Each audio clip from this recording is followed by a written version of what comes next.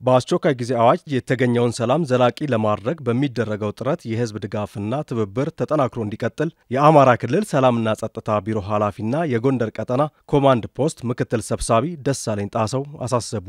የአማራ ክልል ሰላምና ጸጥታ ቢሮ ኃላፊና የጎንደር ቀጠና ኮማንድ ፖስት ምክትል ሰብሳቢ ደሳለኝ ጣሰው በክልሉ የተለያዩ አካባቢዎች የነበረውን የጸጥታ ችግር በሰራዊቱና በሕዝቡ የጋራ ጥረት ወደ ሰላምና መረጋጋት ተመልሷል ብለዋል። የአስቸኳይ ጊዜ አዋጁን ተከትሎ በጎንደር cluster በሰባት ከተማ አስተዳደር ዞኖች ስር ባሉ ቀጠናዎች ኮማንድ ፖስቱ በበላይነት የሚመራቸውን 12 ኮሚቴዎች መቋቋማቸውን ጠቅሰዋል። በሂደቱም ከህዝብ ጋር በመተባበር ውጤታማ ስራ በመከናወኑ ችግር የነበረባቸው አካባቢዎች ወደ ሰላምና መረጋጋት መመለሳቸውን ገልጸዋል። በአስቸኳይ ጊዜ አዋጅ ትግበራ ሂደት የሀገር መከላከያ ሰራዊትና በየደረጃው የተቋቋመው ኮሚቴ እያደረገ ያለውን የሰላም ጥረት ህዝቡ እያገዘ መሆኑንም ተናግረዋል። በዚህም ችግር በነበረባቸው አካባቢዎች ሰላም ሰፍኖ መደበኛ እንቅስቃሴዎች መጀመራቸውን ገልጸዋል።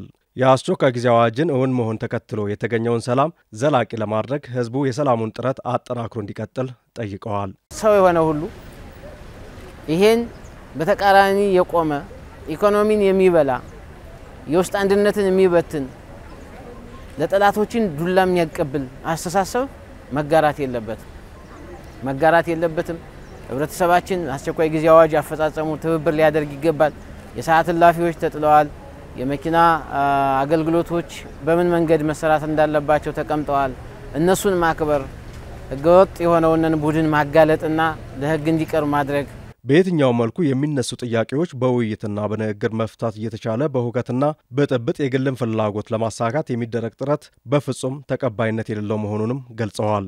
በህዝብ ስም የሚነግዱ የጥፋት ቡድኖች ከድርጊታቸው ሊታቀቡ ይገባል ያሉት ኃላፊው ህዝቡም እነዚህን አካላት በጋራ ሊታገላቸው ይገባል ብለዋል። ዝርፊያ ተፈጽሟል። በገሃድ ነጣቁሳን የገንዘብና ኢኮኖሚ ተቋም በሙሉ አቃጥለዋል።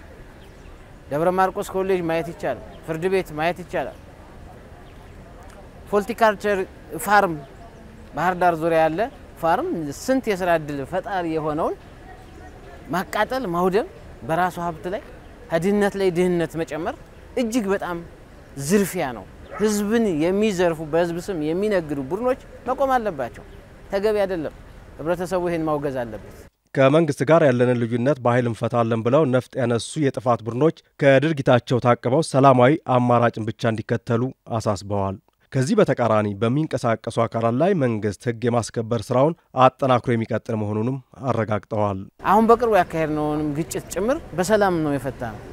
በሰላም ለመፍታት ህጋዊ በሆነ መንገድ ለመንግስት መንግስት ባጠፋሁት ልክ ይጠይቀኝ ወይም ያስተምረኝ፣ ለመንግስት ራሴን አሳልፌ ልስጥ፣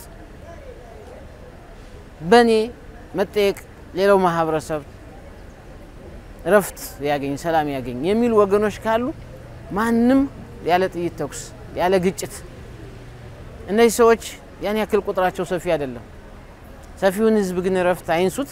በሰላማዊ መንገድ ለመንግስት ለህግ የበላይነት ይቅረቡ።